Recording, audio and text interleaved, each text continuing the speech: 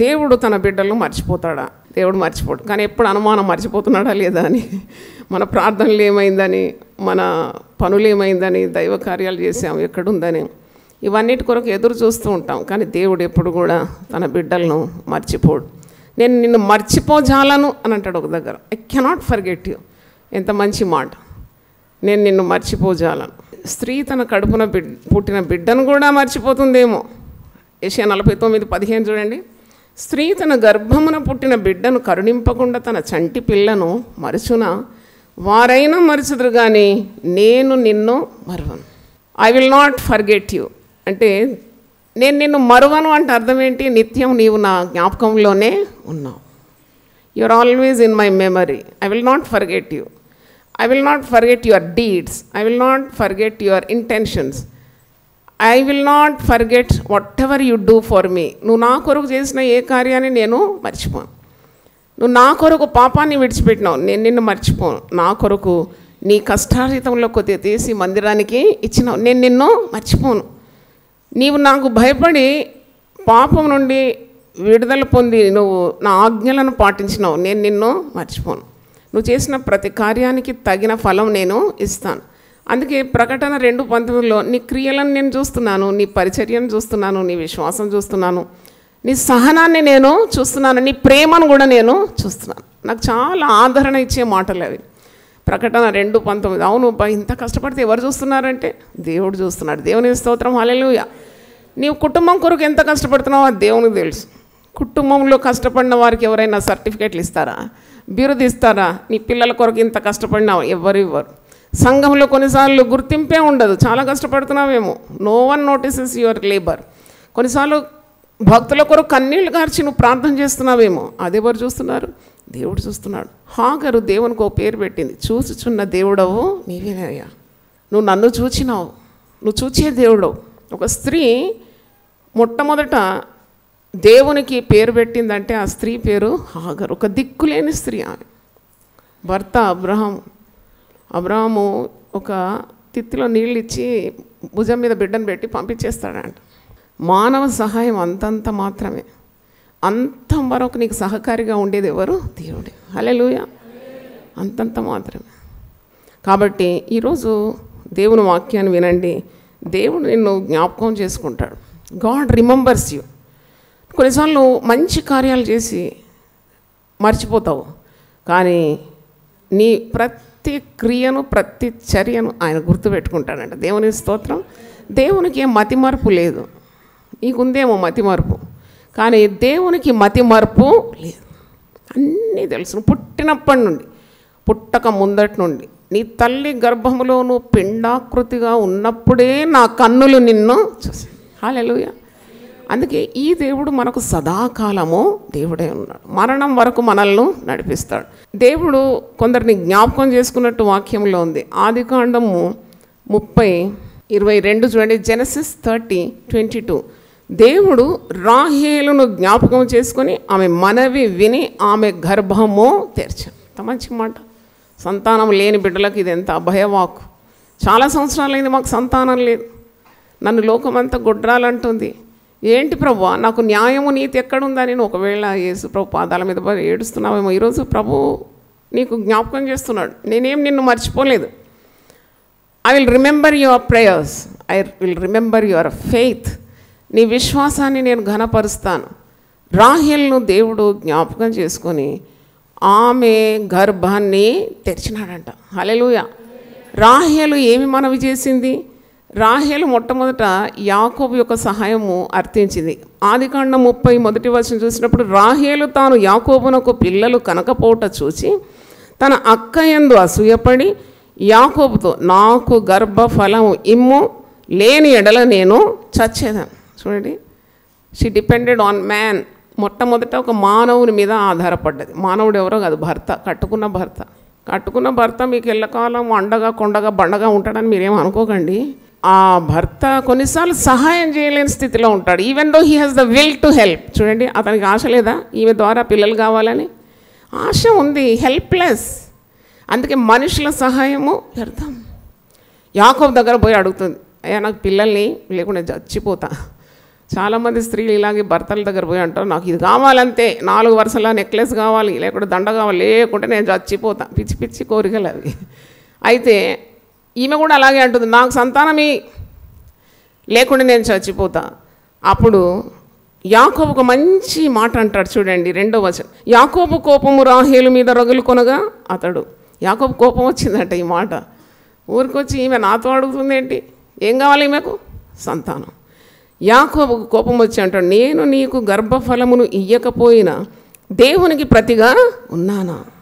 ఏంటి? నువ్వు నన్ను అడుగుతున్నావేంటి? నేనేం చేయగలుగుతాను? నా వశంలో లేదు నీ గర్భం తెరవడం గర్భఫలం ఇవ్వడం.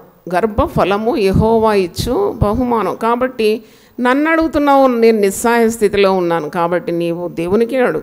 నువ్వు దేవునికి అడుగు. చిన్నతనంలో మాకు గుర్తుంది. మాకు ఫీజు కట్టాలి కాలేజ్ ఫీజు కట్టాలి. ఆ- డబ్బులు కావాలి ఈ డబ్బులు కావాలి. మేము మా నాన్నగారి దగ్గర పోయాడు అమ్మ దగ్గర పోతే నాన్నగారి దగ్గర పోమంటారు నాన్నగారి దగ్గర పోతే అంటారు నువ్వు దేవుని దగ్గర పోమంటాడు అయితే మేము ఏంటిది మ్యూజికల్ చైర్ లాగా తిరగాలి. మాకు ఫీజు లేదు. మోకరించి ప్రార్థన చేయండి. దేవుడు పంపుతాడంటే అప్పుడు మేమందరం పోయి పిల్లలమంతా మోకరించి ప్రార్థన చేస్తే ఏ దిక్కును ఉండండి సహాయం వచ్చి ఫీజులని కట్టేసి. దేవుని స్తోత్రం. చాలా మటుకు మేము క్లాస్లో అందరూ ఐదుగురు కూడా ఫస్ట్ ర్యాంక్ వచ్చేది కాబట్టి ఫీజులు సగం మాఫీ పూర్తి మాఫీ అలాగ అయిపోయేది దేవుడు గొప్ప దేవుడు. చూడండి ఆమె ఒక మానవునికి మనవి చేసినప్పుడు ఆమెకు సహాయం దొరకలేదు. నేను అనుకుంటా ఈమె తిరిగి నిజమే నా భర్త అయిన యాకోబ్ చేతిలో ఏం లేదు. నేను ఇప్పుడు ఎవరి సన్నిధిలో మోకరించాలి. దేవుని సన్నిధిలో మోకరించాలని మోకరించింది ప్రార్థన చేసింది ఎలిగే తేడ్చిందో మొర్ర పెట్టిందో దేవునికి తెలియదు మనకు తెలియదు. ఇరవై రెండో వచనంలో ఉంది రాహేల్ను ఎవరు జ్ఞాపకం చేసుకున్నారు? దేవుడు.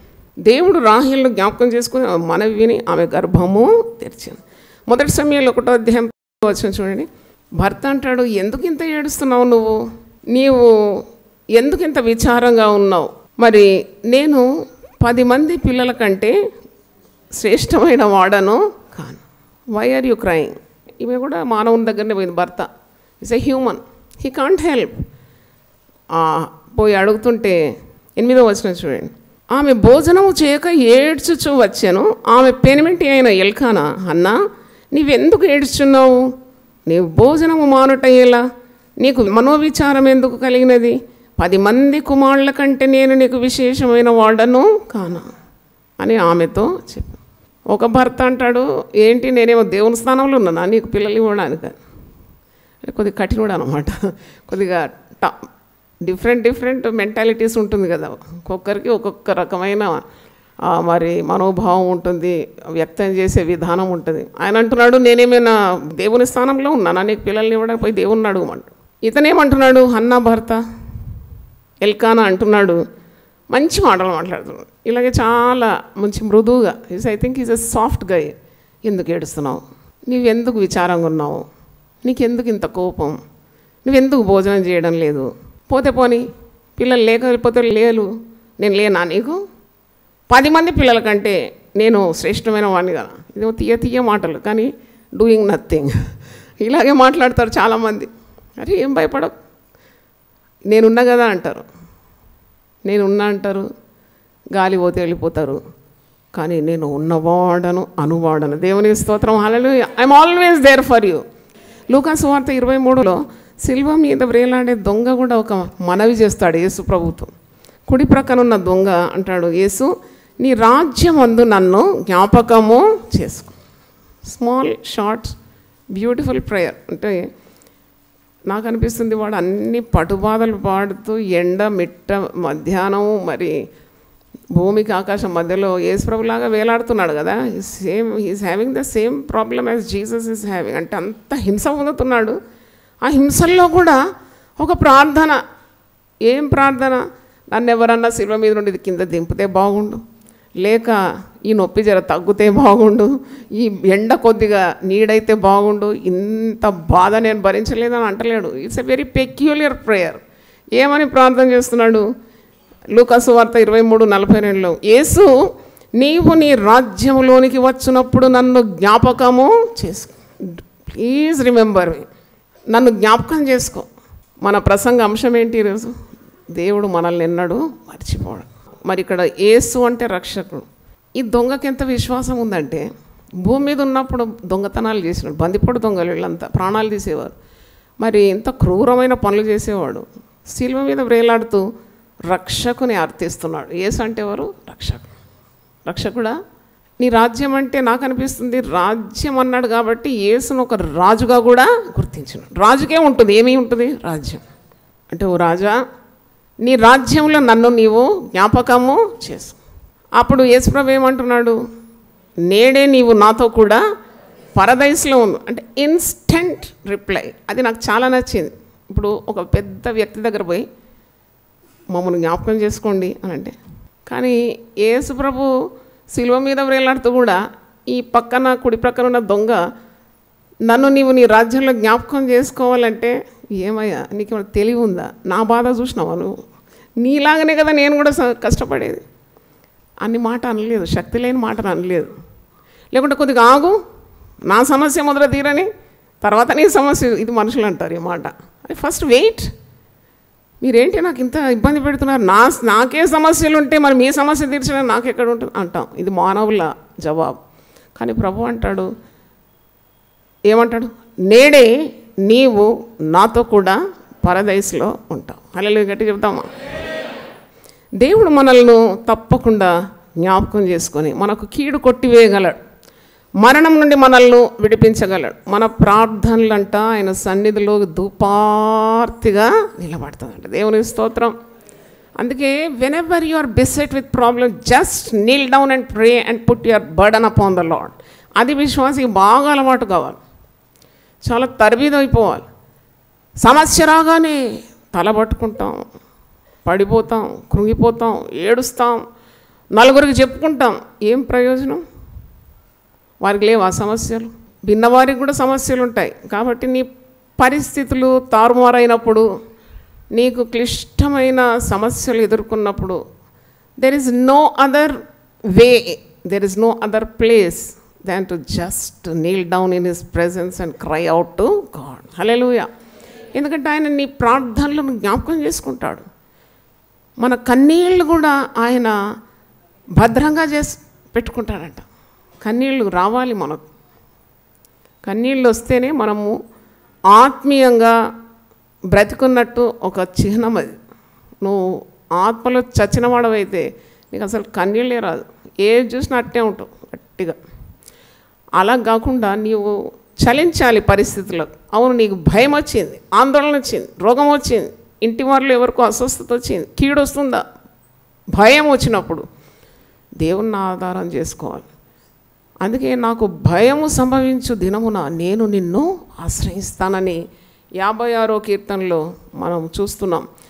మరి ఇక్కడ నీ ప్రార్థనలు ఆయన జ్ఞాపకం చేసుకుంటాడు. నువ్వు చేసే మంచి పనులు జ్ఞాపకం చేసుకుంటాడు. ఇంత మంచి చేసినామండి. అసలు ఏంటి మాకేం కనబడడం లేదని. మంచి చేసి ఊరుకోవాలంతే. తగిన సమయం అందు పంట నీవు కోస్తావు. కొన్ని విత్తనాలు మూడో రోజే లేచిలు పడుతుంది మరికొన్ని అయితే కొద్దిగా నెలలైనాక కనబడుతుంది మరికొన్ని అయితే కొన్ని సంవత్సరాలైనాక ఆ విత్తనము మొలకెత్తుంది. వెదరు సాగు చేసే రైతులట విత్తనం వేసి ప్రతి సంవత్సరం దానికి మరి సేద్యపరిచి ఆ విత్తనం వేసి కనిపెడతా ఉంటారట. మొదటి సంవత్సరం ఏం కనబడదు రెండు సంవత్సరం ఏం కనబడదు మూడో సంవత్సరం ఏం కనబడదు. బ్యాంబూ బ్యాంబూ ట్రీస్ గురించి చెప్తున్నాను మలేషియాలో వెదరు ఈ బ్యాంబూ రైతులు ఉంటారు ఫార్మర్స్. విత్తనం వేసి ప్రతి సంవత్సరం ఎదురు చూస్తారు. రెండో సంవత్సరం మూడో సంవత్సరం నాలుగో సంవత్సరం ఐదో సంవత్సరం ఒక్కసారి తొంభై అడుగులు పెరిగిపోతాడు దేవుని స్తోత్రం. అన మనం చేసే ప్రయాసం ప్రభువునందు వ్యర్థము ఏ చేసినా దానికి తప్పకుండా ప్రతిఫలం ఉన్నది. ఆయన నిన్ను మర్చిపోడు. ఆయన నిన్ను మర్చిపోడు. మనము మేలు చేస్తాం ఇతరులకు వారు ఎంత తొందరగా మర్చిపోతారు తెలుసా? వాళ్ళకి అసలు గుర్తే ఉండదు. మనల్ని చూస్తే కూడా నమస్తే పెట్టరు. అసలు ఇంత తొందరగా మర్చిపోయినా. ప్రభు ప్రేమను మనం ఏం చేస్తామంటే తొందర తొందరలో మనం మర్చిపోతాం. ఆయన చేసిన ఉపకారంలో దేనిని మరవద్దంట. ఎందుకంటే మనల్ని ఆయన ఎప్పుడూ మర్చిపోడు. నేను వెతికి వెంటాడితే కూడా రావడం లేదు. నేను రాను పో అంటున్నది. ఇలాగే ఉంటుంది. మనం కూడా దేవుని పట్ల చూపే అవిధేయత. ఆయన ప్రేమతో రమ్మంటాడు. లోబడనొల్లని పిల్లల వైపు నేను దినమెల్ల నా చేతులు చాచాను. ఎవ్వడు రాడు. పిలిస్తే పరకాడు అప్పుడే కొద్దిగా సురుకులు పెడుతుంటే అప్పుడు వెంటనే దేవా దేవా అని తిరుగుతూ ఉంటారు. కాబట్టి ఈరోజు దేవుడు మనల్ని మర్చిపోవడానికి ఆయన అన్యాయస్తుడు. కానే కాడు దేవుని స్తోత్రం. ఏప్రిల్ రాసిన పత్రిక ఆరో అధ్యాయం పదో వర్షం చూద్దాం. మీరు చేసిన కార్యమును మీరు పరిశుద్ధులకు ఉపచారం చేసి ఇంకను ఉపచారం చేసినట చేత తన నామమును బట్టి చూపిన ప్రేమను మరచుటకు దేవుడు అన్యాయస్తుడు కాడు. హల్లెలూయా. మీరు తోటి విశ్వాసులకు చేసిన సహాయం. మీరు తన దాసులకు ఇచ్చిన సహాయం లేక సంఘ కార్యాభివృద్ధి మీరు చూపిన ప్రయాసం ఇవేవి కూడా ఆయన మర్చిపోవడానికి అన్యాయస్తుడు కానే కాదు. కాబట్టి ఈరోజు దేవుడు నిన్ను జ్ఞాపకము తప్పకుండా చేసుకుంటాడు. నీవెప్పుడైతే దేవుని క్రమంలో ఉంటావో దేవుడు నీ ప్రార్థనలకు వెంట వెంటనే జవాబిచ్చి తన కరుణను నీ మీద చూపెడతాడు. ఆది కాండం ఎనిమిదో అధ్యాయం ఒకటో వచనంలో కూడా ఎహోవా నోవహును జ్ఞాపకము చేసుకోండి ఏది నలభై రోజులు అయిపోయింది వర్షం ఆగడం లేదేంటి? మరి వీళ్ళు జలప్రయంలో ఉన్నారు. దేవుడు అటనే ఆజ్ఞ ఇచ్చి మర్చిపోయినాడా? లేదే లేదు వారికి కావాల్సిన భద్రత ఏర్పాటు చేసినాడు. దేవుడు నోవహును అతనితో కూడా ఓడలోనున్న సమస్త జంతువులను సమస్త పశువులను జ్ఞాపకము చేసు ఓడలో ఉన్న నోహును అతని కుటుంబాన్ని అతని ముగ్గురు కుమారులను ముగ్గురు కోడళ్ళను దానితో పాటు సమస్త జంతువులను సమస్త పశువులను కూడా ఏం చేసినాడట? జ్ఞాపకం చేసుకున్నాడు దేవుని స్తోత్రం. అలే so God definitely remembers all that you have done for him నిర్గమకాండం రెండు ఇరవై నాలుగు ఒకసారి చూడండి. ఇక్కడ ఐగుప్తీయులు తన ప్రజలైన ఇస్రాయిల్లో చాలా బాధ పెడుతున్నారు. ఇటుకలు మోయిస్తున్నారు వెట్టి చాకిరి చేయిస్తున్నారు. దేవుడు వారిని ఏం మర్చిపోలేదు. తన ప్రజలకు దేవుడు ఇచ్చిన ప్రతి వాగ్దానాన్ని జ్ఞాపకము చేసుకుంటాడు. నీ తండ్రికి దేవుడు వాగ్దానం ఇస్తే నీకు నువ్వు జ్ఞాపకం చేసుకో. అదెంత బాగుంది కదా. ఇప్పుడు నా తండ్రికి దేవుడు ఎన్నో వాగ్దానాలు ఇచ్చినాడు. ఆ వాగ్దానాలన్నీ నా పట్ల కూడా ఆయన జ్ఞాపకము చేసుకుంటాడు. నాకు ఇచ్చిన వాగ్దానాలన్నీ నా సంతతికి కూడా జ్ఞాపకము చేసుకుంటాడు. నిర్గమకాండం రెండు ఇరవై నాలుగు చూడండి. కాగా దేవుడు వారి మూలుగును విని అబ్రహాము ఇస్సాకు యాకోబులతో తాను చేసిన నిబంధనను జ్ఞాపకము చేసుకున్నా. హలలుయ నేను నాకు మూలు కూడా అలవాటే కానీ ఎవరి ముందు మూలుగా. ఎందుకంటే మూలుగా అంటుకుంటుంది. ఇంట్లో ఇప్పుడు నేను మూలిగిన అనుకో. అయ్యగారు కూడా మూలు మూలుగుతాడేమో. లేక పిల్లలందరూ మూలుగుతా వచ్చిన పని మనుషులు కూడా మూలుగుతారేమో. ఏ నేనెందుకు మూలుగాను? నేను మూలుగుతాను దేవుని సన్నిధిలో పాదాల మీద పడి మూలుగులు కొన్నిసార్లు మాట రాకుండా మూలిగే అవకాశం లేదు. కానీ ఆ మూలుగుల ధ్వని కూడా ఆయన వింటాడు. జ్ఞాపకం చేసుకుంటాడట. దేవుని అప్పటి కూడా దేవుని శోధిద్దాం కొందరు ఆడోళ్ళకి ఇదే పని మూలగడం. రొట్టె చేస్తే మూలుగుతారు అన్నం వండితే మూలుగుతారు బిర్యానీ చేసినా మూలుగుతూ ఉంటారు. మూలుగుతూనే ఉంటారు. అట్లా మూలగడం కాదు ఇది. నీవు నిస్సహాయ స్థితిలో దేవుని పాదాలు పట్టుకొని ప్రార్థన చేసేటప్పుడు భాష కూడా నీకు రాని పరిస్థితులు అంటే నోటి వాక్కులు రాకుండా దుఃఖంతో నీ ప్రాణం సొక్కిపోయినప్పుడు కృంగిపోయినప్పుడు వచ్చే ధ్వని అంటే ఎవరి ముందు కూడా నువ్వు వ్యక్తం చేసుకోరాని విధంగా ఏడ్చే సమయాల్లో ఆ ధ్వని దేవుని చెవిలోకి చచ్చిపోతుందని ఇక్కడ వాక్యం భావం. ఎందుకంటే వారి మూలుగులను దేవుడు జ్ఞాపకము చేసుకున్నాడు. ఎవరు మూలిగినారు? ఇక్కడ ఎవరు మూలిగినారు? ఇస్రాయల్ ప్రజలు. ఎందుకు మూలిగినారు? కష్టం బాధ. వెట్టి చాకినట్టు కొడతారన్నమాట. అంటారుంటుంది అయుక్తుల చేతులు వీపు దున్నేస్తారు పని చేయకుంటే. దేవుని ప్రజలు ఇంత ఇబ్బంది పడుతున్నారు. అప్పుడు దేవుడు వారిని జ్ఞాపకం చేసుకోవడం మూలుగులను జ్ఞాపకం చేసుకోవడం మాత్రం కాదు. తమ పితరులైన అబ్రహాము ఇస్సాకు యాకోబుకు దేవుడు ఇచ్చిన వాగ్దానములను జ్ఞాపకము చేసుకోండి. నిబంధనను జ్ఞాపకం చేసుకో దేవుని స్తోత్రం. నిర్గమకాండ మూడు ఏడు చూడండి. మరియు యహోవా ఇట్లా నేను నేను ఐగుప్తులోనున్న నా ప్రజల బాధను నిశ్చయముగా చూచి తిని దేవుని కళ్ళున్నాయా? దేవుని కళ్ళున్నాయి. నీ కళ్ళు ఇచ్చిన దేవుని కళ్ళు లేవా? నీకు వినికిడి చెవులు ఇచ్చిన దేవుడు వినడా? ఈ మాట ఉంది వాక్యంలో. అది మీరు చూడాలి. తొంభై నాలుగో కీర్తన తొమ్మిదో వచనం. సామ్స్ నైంటీ ఫోర్ నైన్ చెవులను కలగజేసిన వాడు వినకుండునా? కంటిని నిర్మించిన వాడు కానకుండునా? ఏషియా యాభై తొమ్మిదిలో ఉంటాడు. విననేరక ఉండినట్లు నా చెవులు మందము? కాలేదు. అంటే చెవులు ఉన్నాయి అన్నమాట. కాననేరక ఉండినట్లు నాకు కన్నులు లేవా? సహాయం చేయలేక ఉండినట్లు నా చేతులు ఏమైనా? కూర్చో. అంటే నాకు అనిపించింది దేవునికి చెవులు ఉన్నాయి దేవునికి కన్నులు ఉన్నాయి దేవునికి చేతులు ఉన్నాయి. నీ దగ్గరికి నడిచి వచ్చి రావడానికి కాళ్ళు కూడా ఉన్నాయి. నీ నేను నీ వద్దకు వచ్చి నిన్ను నేను ఆశ అంటే రావాలంటే ఏం కావాలి? కనులు God is a spirit no doubt about that దేవుడు ఆత్మస్వరూపి. అయినా ఈ పదాలన్నీ చూసినప్పుడు ఆయన ఎంత సమీపంగా ఉంటాడు మనకు. మొరపెట్టు వారికి నిజముగా మొరపెట్టు వారికి నేను సమీపంగా ఉంటాను. హలెలుయ ఎన్ని మొరలు మీ హృదయంలో నుండి దేవుని సన్నిధికి వెళ్తుందో దేవునికే తెలుసు. కానీ మీకు ఎప్పుడు అనుమానం మా బాధను చూస్తున్నాడు ఆ దేవుడు? మా ప్రార్థన వింటున్నాడు ఆ దేవుడు? మా పరిస్థితి దేవుని తెలుసా? ఈ అనుమానాలన్నీ కొట్టివేయాలి. దేవుని స్తోత్రం. హలలుయ ఇక్కడ నిర్గమకాండ మూడు ఏళ్ళలో నిశ్చయముగా ఐగుప్తులో ఉన్న ప్రజల బాధను నేను చూచాను. పనులలో తమను కష్టపెట్టు వారిని బట్టి వారు పెట్టిన మొరను వింటిని. వారి దుఃఖములు నాకు తెలిసే ఉన్నవి. హాలెలుయ. హాలెలుయ. వారి దుఃఖము తెలిసి ఉందంట నేను ఇప్పుడు లోపల ఎంతన్నా ఏడ్చి పైకి మంచిగా ముఖం కడుక్కొని కొన్ని మీ ముందు వస్తే అమ్మ జాయ్ సిస్టర్ ఎంత హ్యాపీగా ఉంది కదా అనుకుంటారు మీరు. మీకేం తెలుసు? ఎన్ని బాధలు గుండెలో ఉన్నాయో ఎన్ని బాధ్యతలు ఉందో ఏముందో మనకు తెలియదు కాబట్టి మీరు అంటే పై రూపాన్ని అందుకే ప్రభు అంటాడు మనుషులు మీ పై రూపాన్ని చూస్తారు. దేవుడు హృదయాన్ని అంతరింద్రియాన్ని ఏం చేస్తాడు? పరీక్షిస్తాడు. అవును ఐగుప్తుల్లో నా ప్రజలను పెట్టే బాధను నేను చూశాను వారి దుఃఖములు నాకు తెలిసే ఉన్నవి. హలలుయ వారి దుఃఖాలు నాకు తెలిసే ఉంది. వారి మొరను నేను వింటూ ఉన్నాను. వారు మరి పడిన బాధలను పడుతున్న శ్రమను నేను కనులారా చూశాను హాలలుయ గొప్ప దేవుడు మనకున్నాడు. మరి నేను నా మాటలు ముగిస్తున్నాను ఆయన నిన్ను జ్ఞాపకము చేసుకుంటాడు ఆయన నిన్ను చూస్తాడు చూస్తున్నాడు. ఆయన నిన్ మాటలు వింటున్నాడు. నీ ప్రార్థన మొర ఆయన వింటున్నాడు. ఆయన నీ కన్నీళ్ళను చూస్తున్నాడు. దేవునికి స్తోత్రం. హాలెలు ప్రభాని పరిశుద్ధనామం స్తోత్రం. ఆయన నిన్ను జ్ఞాపకము చేసుకుంటున్నాడు. రాహిల్ను జ్ఞాపకం చేసుకున్నాడు. ఆమె మనవిని జ్ఞాపకం చేసుకున్నాడు. హన్న ఏడ్చి మొర పెట్టినప్పుడు ఆమెను జ్ఞాపకము చేసుకున్నాడని వాక్యంలో ఉంది. నోవహును దేవుడు జ్ఞాపకము చేసుకున్నాడు. ఇస్రాయేల్ ప్రజలను చూచినాడు. వారి పితరులతో ఆయన చేసిన నిబంధనను జ్ఞాపకము చేసుకున్నాడు. ఇంత గొప్ప కార్యం నాయన.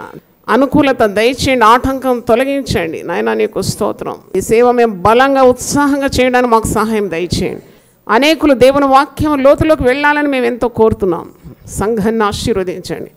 నాయన సంఘ ప్రాంగణంలో మిద్ద మీద ఉన్న ప్రతి బిడ్డను దీవించండి. వారి కుటుంబాలకు కావాల్సిన క్షేమం దయచేయండి. సకల ఆశీర్వాదాలతో నీ బిడ్డలను మీరు పంపమని టీవీ ద్వారా విన్న వారిని కూడా మీరు నీ యొక్క ప్రేమతో కృపతో నాయన నీ కాపుదలతో వారిని కూడా అనుగ్రహించమని ఏసు నామంలో అడుగుతున్నాను తన్ని ఆమె